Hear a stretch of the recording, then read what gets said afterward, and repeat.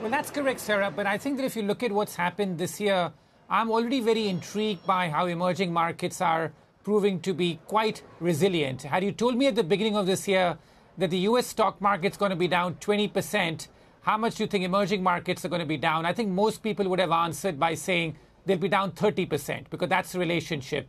Instead, this year at least, emerging markets are outperforming. And if you look at the world's 10 best performing uh, markets in general, all 10 are emerging markets. So I think that it is very difficult for any asset class to generate positive returns, particularly in the equity space where the US uh, stock market is behaving this way. But the relative resilience of emerging markets at a time when you expect, as you said, um, emerging markets to do poorly is, I think, something, uh, something worthy of note and worth asking the question that why is this happening? And my answer is that the fundamentals of emerging markets mm-hmm. have improved significantly compared to the last few years.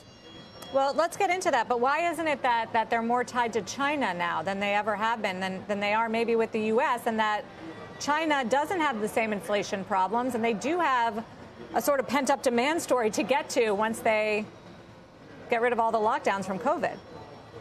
Yes, that's correct. But I think that the links with China have been weakening a lot. Um, despite the price action that we have seen today with the carnage in the commodity markets, a lot of these emerging markets are dependent on commodity exports. And even as China has been quite soft demand wise over the last uh, few months, uh, many commodity prices and even uh, commodity exporting countries have done much better. So I think the link with China is weakening because what's happening here is that just how supply constrained the commodity markets have been. So the few nations that have been able to produce commodities uh, have done quite well. And those currencies have also done relatively well, today's carnage notwithstanding. So I think that the link hmm. of China to many of these emerging markets has been has weakening diminished. as China has turned much more inward.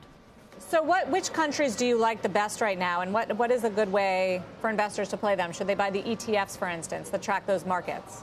Well, I think the ETF is a very wrong way to do it because the ETF is very concentrated in three countries, which is basically China, Korea, and Taiwan. That's nearly 60%.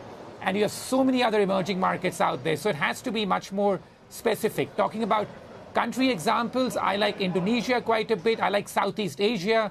In general, I think Indonesia, Philippines, Vietnam all look quite interesting to me. I think some of the commodity exporting markets of Latin America, such as Brazil, uh, especially with the currency where it is now, and even Mexico, I think look interesting. And there's always India, you know, which is a country that consistently disappoints the optimists and the pessimists.